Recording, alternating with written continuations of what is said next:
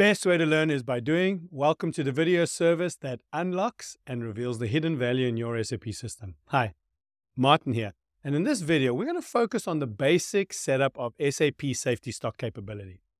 When used correctly, setting and managing safety stock can help organizations maintain stock levels to ensure they have the inventory available to meet customer demand and reduce the likelihood of stockouts. Christy, this is a feature that can really be misplaced and misunderstood and misused. How about you share a little bit with us? Let me see if I can take some of that risk out, Martin.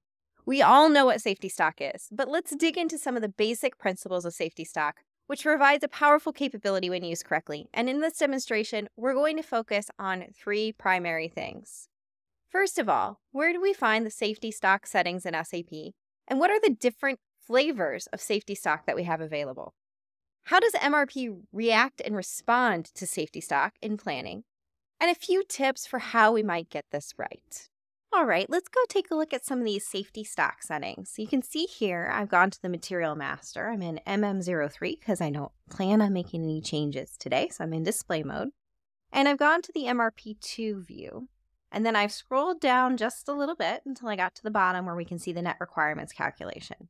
This is where our safety stock settings lie. And we talked a little bit about the purpose of safety stock to protect us against volatility and variability, any types of process breakdowns or variance to plan. That safety stock is going to provide us with a cushion.